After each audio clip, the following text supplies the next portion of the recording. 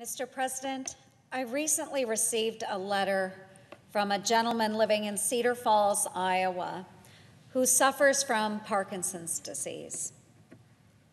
As I speak, he is going without his $1,450 per month Lyrica prescription in order to keep a roof over his head.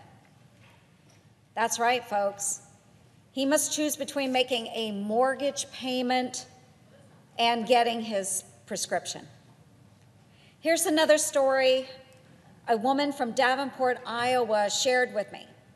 Last October, she was able to get a three month supply of blood pressure medication for $17.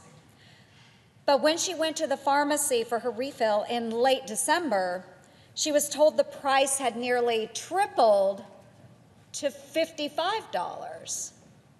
She wrote me and said, Thinking this was a mistake, I refused the refill and checked online about the change in price and found I couldn't get it cheaper anywhere else. So I went back in in 10 days and thought I would just have to pay the new cost, which was that $55. In that time, the prescription had gone up to $130. Mr. President, whether I'm talking to folks back home in my town halls and other events on my 99 county tour, or in meetings right here in Washington, D.C., the cost of prescription drugs is the number one issue I hear about from Iowans.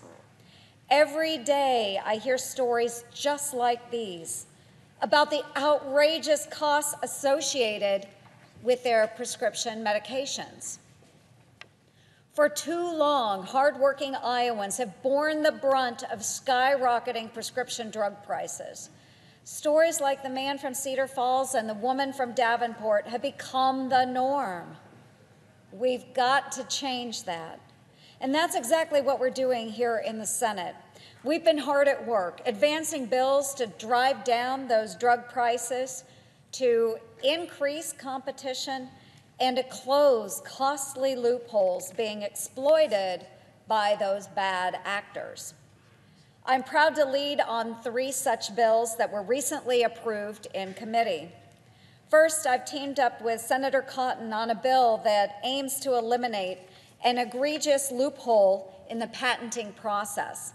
This loophole allows drug companies to take advantage of the well intentioned concept of sovereign immunity for Native American tribes in order to dismiss patent challenges and unfairly stifle competition. Our legislation would put an end to this manipulative practice and actually provide Iowans with access to cheaper options for their prescription drugs. That's not all we're doing here in the Senate to make more low cost generic drugs available to folks in Iowa. We've also been working across the aisle on a bipartisan bill that would put a powerful check on drug companies seeking to keep generics off of the market. The bill would empower the makers of generic drugs to file lawsuits against brand name manufacturers if they fail to provide required resources, such as drug samples, needed for generics to clear the regulatory process. And in turn, we'd see cheaper alternatives available for my folks in Iowa. I'm also working with my fellow Iowan, Senator Grassley, on a bill that focuses on the middlemen behind some of the prescription drug price hikes that we've seen recently.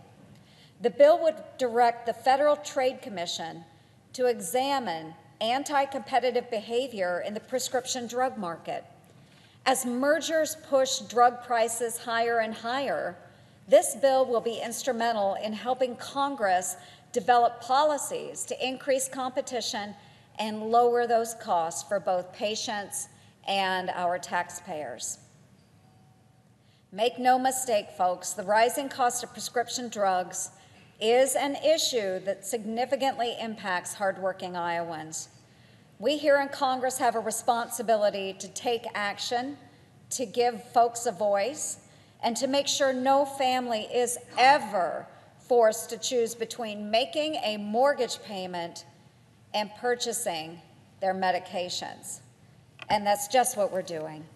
We've got some great bills here in the Senate, bills from both Republicans and Democrats that can help lower those drug prices, increase competition, and close loopholes. Let's build on this effort and continue working together in a bipartisan way to get these bills and others across the finish line and signed into law. Iowans are counting on us. Thank you, Mr. President. I yield the floor.